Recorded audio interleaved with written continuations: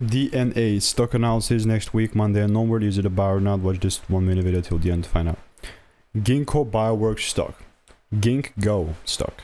So it's pretty much sitting at 2250 um, cents. That's like 22 and a half cents. 11% down. This is what my chart looked like. Now I'm briefly gonna say this. With DNA, uh, it's definitely like a bearish trend, and when I like last made video, it was here. So in an ideal world, the this would have been a short if the price went up and gave me that double break. But guess what? You know, I just figured out I'm just gonna keep going down without those unnecessary shenanigans. And that's exactly what, what it's doing. So, I mean, I'm not gonna step in the way before I had like two shorts in a row. Here's the proof of both of them. I mean, the only case in which I would look for something bullish is if there's like double breaks above here, but like anything else for right now, just rather be noise for me, and I wouldn't be interested. So, it's a berry season right now.